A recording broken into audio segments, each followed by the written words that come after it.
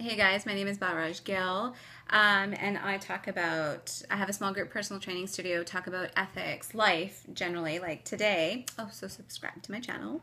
Um, today I want to talk about sex. And the reason I'm making this video is because I'm actually inviting some more, um, some friends that I have that, um, that talk about sexual healing almost and sex um, from a spiritual sense. Uh, I'm going to invite them onto my channel and I want them to talk about their perspective of sex.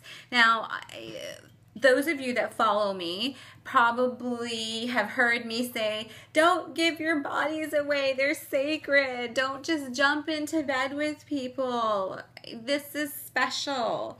The reason I say that, um, some of you might know, is because I mean we we can't just give women us females I've said this before we come from the heart center and males come from the second chakra. So the minute we sleep with somebody you may not think it because you're blocked. We put this there's all this like media sex is sexy. It's like drinking. Drinking is the thing to do and having sex is nothing anymore. Well it's something because you're giving your energy away and that's why I want to invite one of my friends onto the channel, and she's going to talk a little bit about sex. And she's also Indo Canadian, which is going to be really fun. I'm looking forward to that. We're going to do that next week. I wanted to intro it a little bit. Um, and just, you know, the topics that we're going to be discussing are obviously going to be along the line of energy. And, um, just the true meaning of raising your energies. And when you meditate, you feel that sense anyways. You raise, I talk about that, those butterflies in your stomach which come up.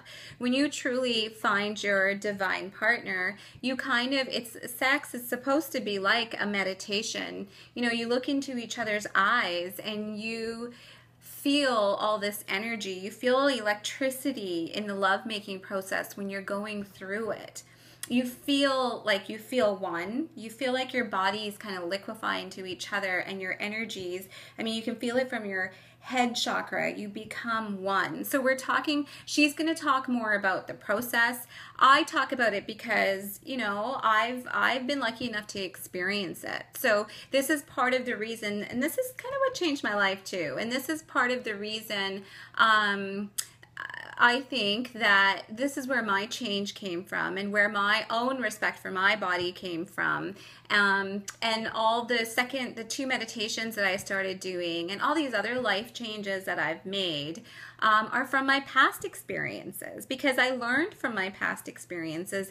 I'm not going to sit around stagnant for this one life. No way. Anything, any person that comes into my life, I will learn from them. And now I have the time. I have the time and I feel free from the fucking rat race. I feel free from it only because I attain my own balance, which I talked about just in the last video. Um, but anyways, so I just wanted to do um, an intro to Gummel. She's coming, she's going to be here next week. I'm really excited. I have some cool questions for her. If you have, she'll be talking about tantric sex and many other um, types of spiritual, sexual stuff. I'm so excited. Um, if you have any questions, you can leave them down below or you can Facebook me um, if you're not on if you're on my Facebook. I've been getting most of my viewers from Facebook anyway, so let's do some sexual healing next week. Later.